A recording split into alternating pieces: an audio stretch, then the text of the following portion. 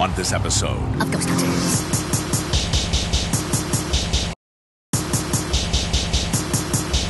On this episode.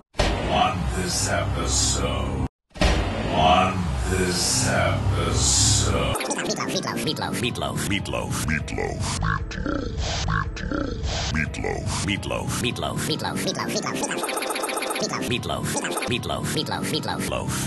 Say I'm like a kid in a candy store.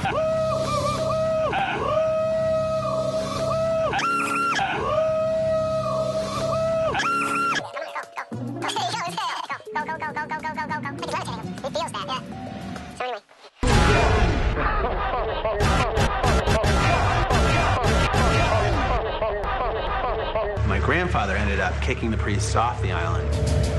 Well, do you want to give us a tour and show us the hot spots where you're having problems? Yeah, that'd be great. We can start right here in the boathouse. I actually saw an apparition of a little girl standing at the foot of the bed, and then it ran right into the wall. She was just glowing, and Is there ever a doorway there?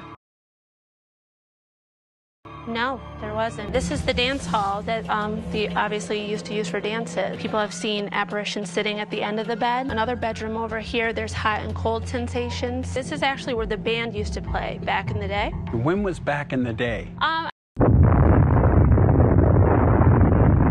and my brother actually had an experience here. I kind of raised my fist and I said, I'm not going to take this as my house. I'm not afraid of you. Sorry, can we hold for one second? My battery just went straight down on me. Whoa, gee. Somebody here? And if you're willing to, if you're able to, if you could please just touch one of us. Look at these bugs, man. This is insane. Come God, don't do that. Sorry, that was right over your head. Oh my God. Actually, please do that.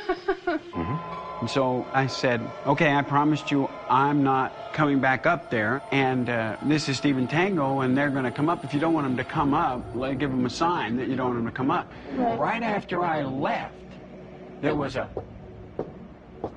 But we were able to catch the audio on that. So we'll, we'll let you listen.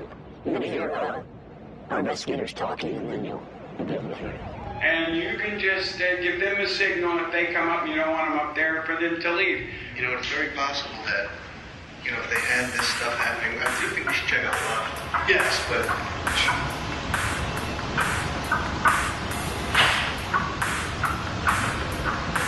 Yeah, we've heard that.